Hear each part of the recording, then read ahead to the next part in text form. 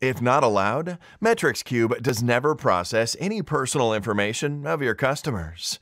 However, to fully exploit the potential of our system, personal data is required to recognize users across your applications and monitor their activity. In order to change permissions of the connector, log in to your admin area in WHMCS and go to Add-ons, and next to the Metrics Cube connector. You can find there the Data Synchronization section that shows you the data which is synchronized with Metrics Cube. Click on the Configure button to edit the settings according to your preferences.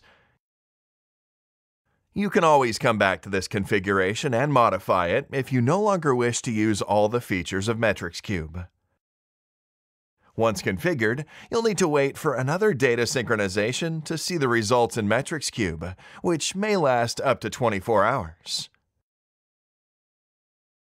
If you come across any problems, please feel free to contact our support. We'll be more than happy to help you.